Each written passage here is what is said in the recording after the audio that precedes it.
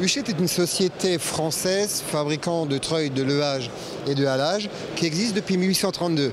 Nous sommes basés dans l'Oise, une centaine de kilomètres au-dessus de Paris, et nous sommes environ 55 personnes.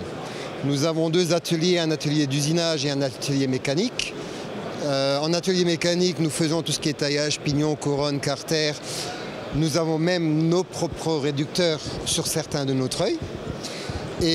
De la seconde usine où nous faisons l'assemblage, la peinture, la soudure et nous disposons de différents bancs d'essai car aucun des treuils ne sort de chez nous sans être passé au banc d'essai et sans avoir sa certification.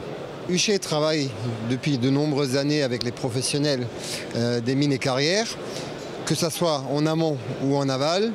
Par exemple, euh, pour les intégrateurs qui intègrent nos produits dans les convoyeurs pour faire de la tension de bande ou du relevage de sauterelles, de contrepoids, tout comme euh, en aval, euh, les sociétés qui utilisent nos produits pour faire du remplacement de bandes convoyeuses.